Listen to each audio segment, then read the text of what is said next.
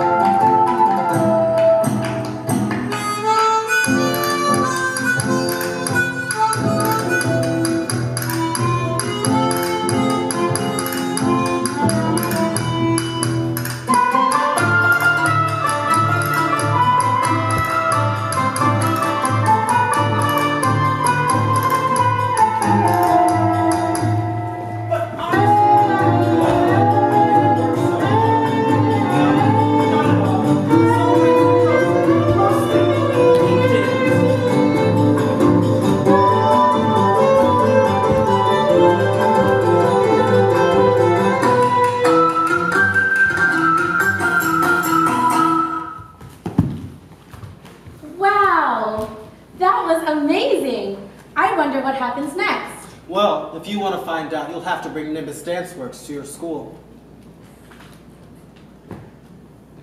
That was the start of Honor Among Thieves, a dance uh, based on a folk tale from Mallorca.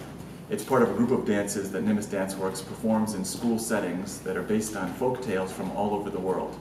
Each story is fun and tells an important moral lesson. We'd love to bring this collection of dances to your school.